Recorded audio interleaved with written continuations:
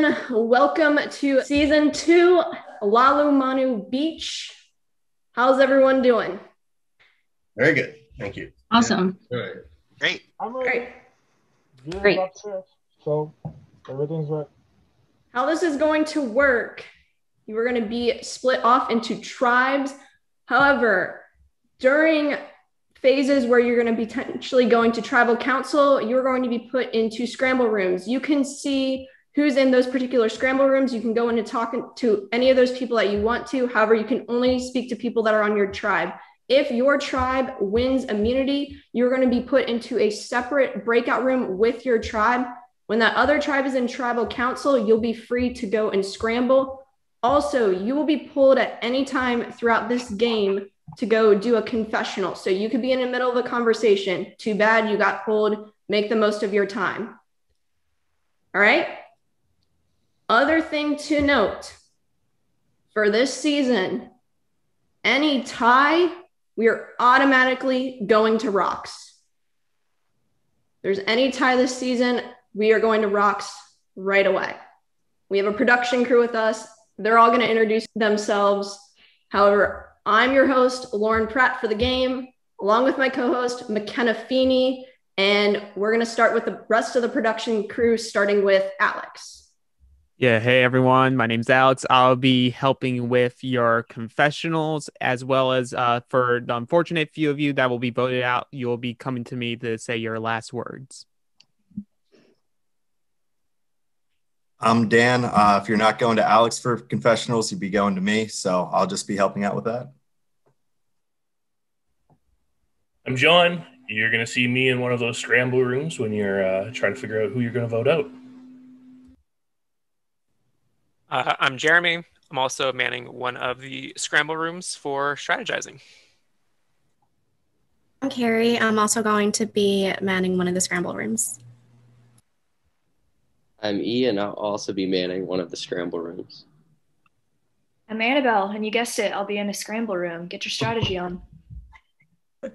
Which means everyone else on the screen is playing. You ready to hear your tribes? Do it. All Heck right. yeah. Oh, So the Passia tribe, which is the lovely uh, cyan blue squares that you got, Morgan, Jackie, Brittley, Greg, Shea, Shawn, and Robert. The Tapua tribe, which will be the purple squares that you got, Anthony, Eli, Dylan, Kyle, Serena, Carlo, and Nikki. Alrighty. At the end of today, we will have the winner of our second season. If you would like to cement your legacy, you could play aggressively or passively, but you may just have to play right in the middle. Are you Ready guys to go. ready to get to your first immunity challenge? absolutely. Yes. Yes. All right. For this challenge, you guys are going to be playing Bet on It. Here's how it works each tribe will set an order of people competing in this challenge. Each tribe will be given a pool of 70 peaches.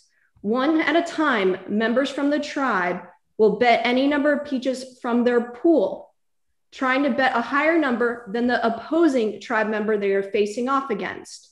The hmm. person with the highest number of peaches wins the point for their tribe. First tribe to win four points wins immunity, safe from tribal council, sending the losers to tribal council to vote the first person out of this game. First immunity challenge of the season. Survivors ready? Ready. Go. Ready. Three, two, one, reveal. Eight. 11 peaches. Tapua scores a point. Three, two, one, reveal. Tapua with another point. Tapua leads with two points. Passia still with zero. Reveal. All right, Passia, First point on the board. Three, two, one, reveal. That's a two, by the way, not a six. Okay. All right. Tapua scores a point. Tapua leads three to one. Three, two, one, reveal. All right. Pasia scores a point. Hmm. Was that 25? Jackie? Yes, Morgan. Okay. Score is now three points for Tapua, two points for Pasia. Can we hear the total number of peaches left for both tribes? Oh, she said that it was our job to keep track, so. Yep. Gotta keep track of it yourself. Three, two, one, reveal.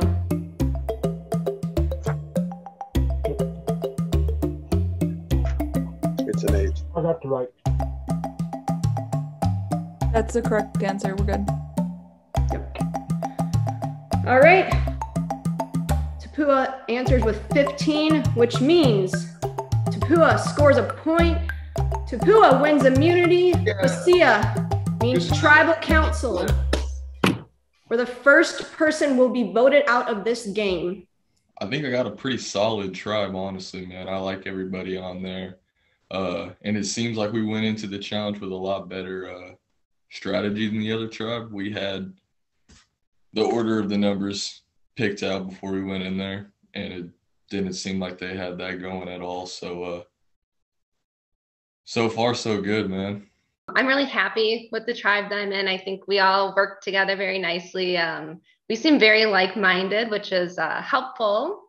Um, and I think we have pretty similar strategies. So I'm hoping this is the first of many wins. Quick There's question. exciting. Um, what was the under the urn thing? I came in late to that. So he I think he wanted. I think he was like the uh, like a immunity, like a hidden immunity idol. Oh, okay. They do they have those? I'm assuming I like they have to send out clues somewhere. They usually do it and like say something or like give you some sort of clue. Oh, yeah. Someone play the podium. I'm guessing it had to be in the chats at some point. Like we had to notice something. Yeah, I didn't Okay. see shit. I'm not gonna lie to you. I did not see anything. Why don't we just ask? Carlo, what was the message about? I'm sorry? The one that you sent to everyone about underneath the urn. Maybe I fracked up things when there was some hidden clue for an immunity idol.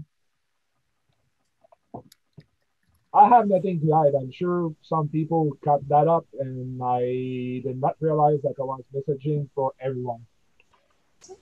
So I'll say one thing. I I did the same message, but I didn't do it to everybody. I also got um there was nothing in the urn, so I think somebody has an idol. Um, I think it's safe to say not Carlos because he said to look under the urn. Okay, I'm missing all of this. How did you did you get messaged and then you searched, or did they Yeah, say I- something and you're like, on the screen. Wait, Uh, what? There's was- like a clue. Okay, so I You guess think it was like in one of the host backgrounds? Yeah, it was. Oh yeah, it was um, God. actually their name title. It said Yeah, the Shred DM me for Oh. clue. the name Yeah, title. so it's like, so I deemed damned her clue, and it said, hmm, nothing is in. I opened the urn and it's empty. "Oh my god, I missed that." So, so when Carlos messaged, look under the urn, I'm like, well, Carlos doesn't have it. Okay, I was right. gonna ask, like, well, I think Yeah. somebody already took it from the urn if it was empty. I didn't even see it. the strategy we had was bad and we probably go into tribal. Um, I'm a strategist guy, and looking at our first four, we didn't have enough stack to win more than one, and I knew that was going to to burn us. I kind of gently brought it up of being worried about my eight and got shut down, and I was like, cool. Um, because frankly, I don't worry too much. Um, I try to keep my head low early on. Uh, if you come off too strong, you know, it's just like great, great, You come off too strong, you get to be a target. As far, far as first target, it feels like we're all on the same page that unfortunately we're going to be voting Bob out. Um, it just it was pretty obvious that uh, he wasn't keeping up with the peaches and the pools. And when that that was a very important moment for us to use a little bit more of our pool to kind of stay in the game. Bob, I think, is somebody that I'm not sure I could work with very well. Seems to be kind of shaky on decision making and things like that. It's Bob. I think it's Bob. Bob. I mean, yeah. No, Keep- I mean, keeping track of the peaches. We got to be strong, and that's yeah, I think it's mm-hmm. Bob. Just because. All right, are we gonna lock that in and then I'll go to a different scramble room? Yep, do yeah. it. That sounds good. Let's do it. Got it.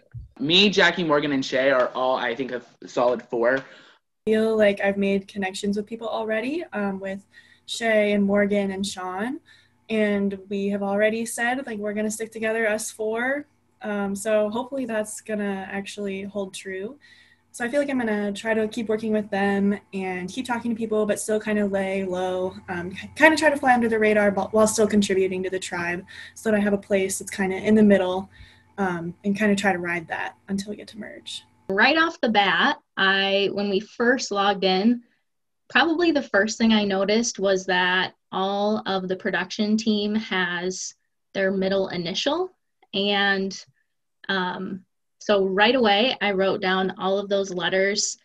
And if you unscramble them, it spells the word legacy. So I messaged Ian and I received a legacy advantage, which can be played at the final six. Um, if I get voted out beforehand, I will have to, of course, will it to somebody who is still in the game. So that was a very exciting start. Um, but then when we were in our breakout room strategizing for the immunity challenge, I saw that Lauren's name had changed to um, DM for a clue or something like that. So I messaged her. She sent me a clue. The clue said, uh, It's clear you need safety, that you are thirsty for this win. Well, you are in luck. I'm offering you some nice drip to hang around your neck. Just text McKenna the magic word. And I see the words clear, thirsty, well, and drip. And that makes me think the magic word is water. And indeed it was. So right now I'm feeling pretty good because I have the legacy advantage and a hidden immunity idol. Um, so it's a great start to the game. I cannot complain. Bob. Hey, how you Um, who are you thanking for the vote? I'm thinking about myself because my internet keeps going out. Maybe you guys should vote me out. well, I've been thrown out of the Zoom twice, so I told them they probably should just vote me out because I don't know what the heck's going on. Um, I don't. Oh, I mean, that's not what I wanted to hear. Yeah, that's what I'm thinking because my internet keeps going off. I don't know how much longer it's going to last. Okay, well, that's good to know. Thanks.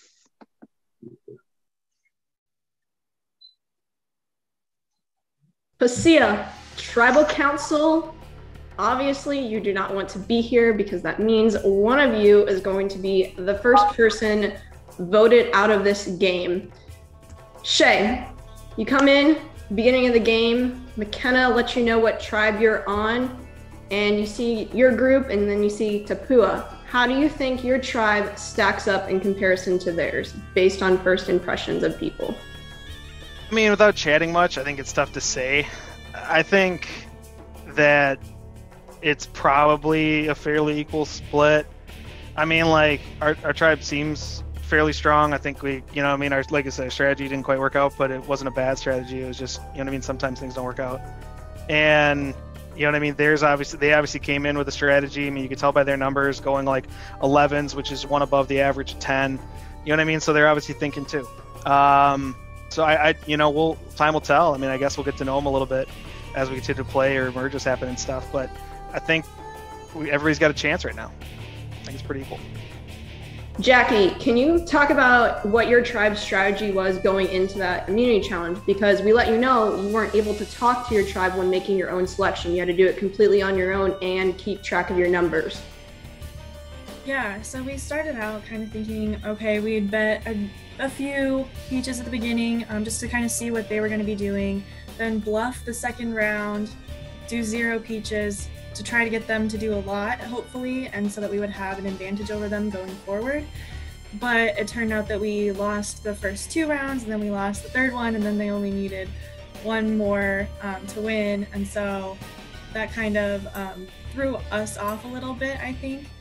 Um, we were hoping that we would be able to still have an advantage over them and be able to take over the last few rounds, but it didn't work out as we planned, unfortunately, um, as Shea was saying.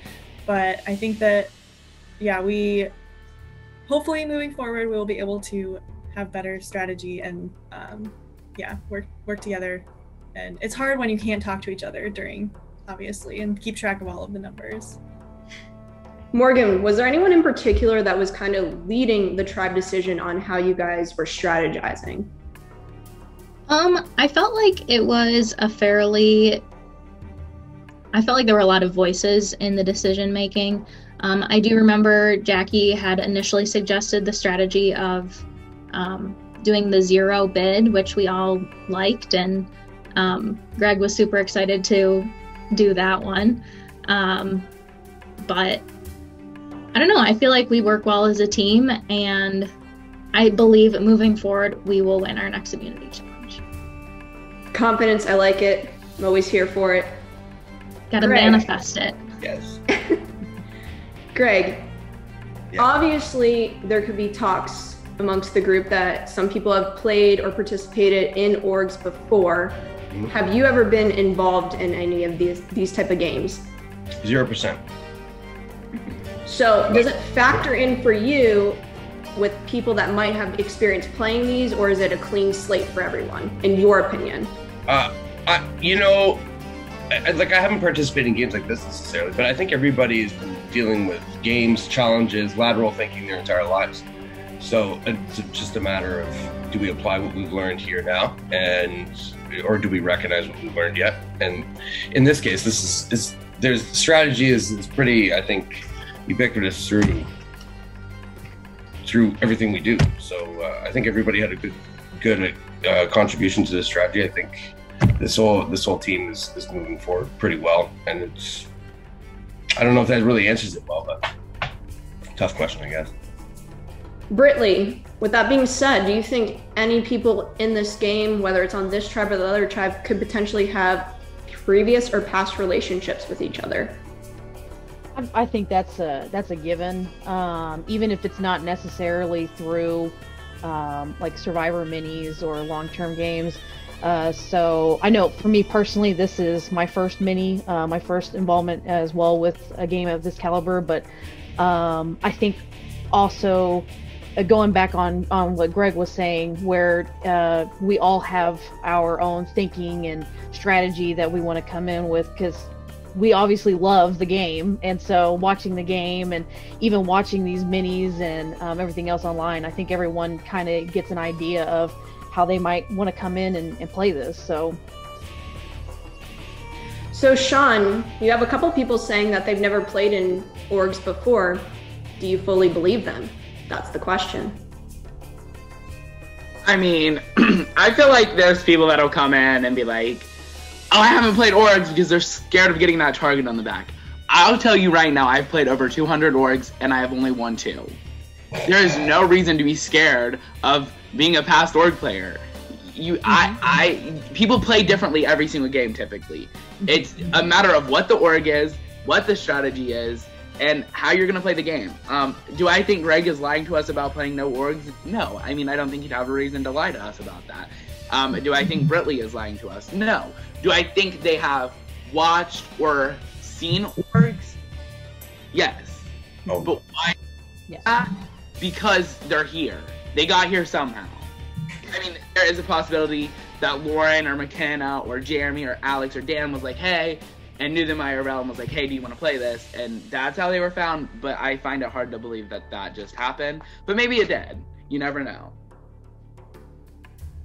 So, Bob, factoring in everything that everyone has spoken about at Tribal Council so far, how are you basing your vote? Uh, um, I asked who I should write down. I'm having problems with my internet. So you're uh, essentially asking them to vote you out of this game. Well, that was my thinking, but now my internet's working fine, so they can do whatever they want to do. So what's your pitch to them to keep you in the game if your internet's working fine now?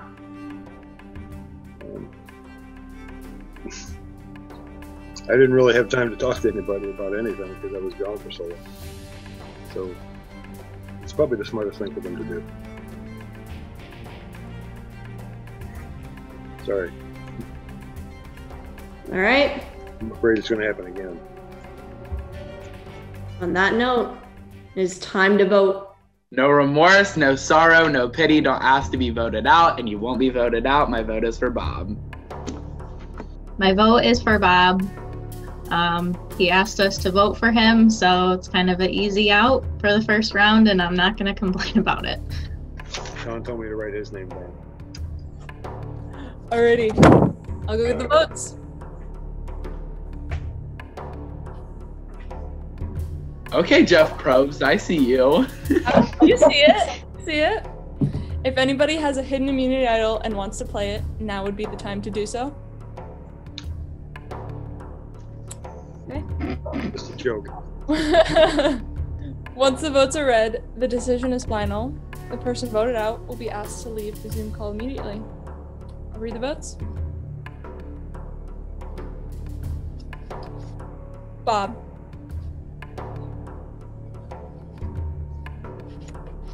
Bob.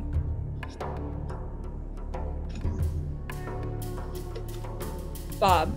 That's three votes, Bob. Suspicious. All the papers are saying. Recount. The first person voted out. Bob. Oh. All right, bye guys. My internet went out, and I came and told everybody they should vote me out. And then, of course, now it's working. So maybe someday I'll be back.